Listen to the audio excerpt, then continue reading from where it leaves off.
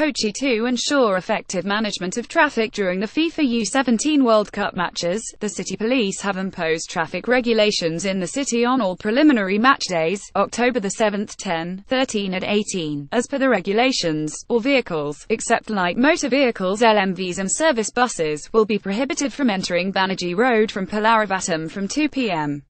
Strict regulations have been imposed along Banerjee Road at Edapalli Bypass High Court Junction. Parking will not be allowed on the stretch.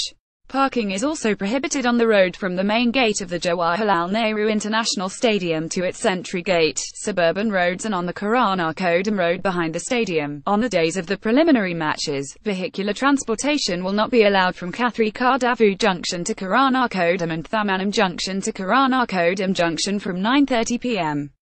No vehicles, including two-wheelers, will be allowed to park on the four-lane road behind the stadium between 2 p.m. and 10 p.m. Spectators arriving in LMVs from Palarivattom roundabout Thamanam should enter the backside of the stadium via Karana Kodam Road. Vehicles coming from Vyttila, SA Road and Kadivanthrak Kathrikadavu should also enter the backside of the stadium. They should park vehicles behind the stadium at the Karana Kodam St Jude Church Ground, IMA Ground and Water Authority Ground. Heavy vehicles should be parked on service roads on both sides of the Edapalli Vyttila NH and on Seaport Airport Road and Container Road. LMVs coming from Vipin and High Court should park on the St Albert's College ground.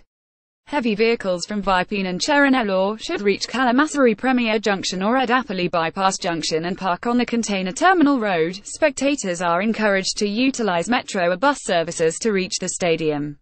Only service buses will be allowed to enter the city via Goshree Bridge since 2 p.m. on all preliminary match days. CIAL greets U17 World Cup Kochi The Kochi International Airport Limited CIAL is all set to welcome FIFA U17 World Cup. The authorities have set up a giant football replica at the traffic island on the airport premises with the message, CIAL welcomes FIFA U17 World Cup.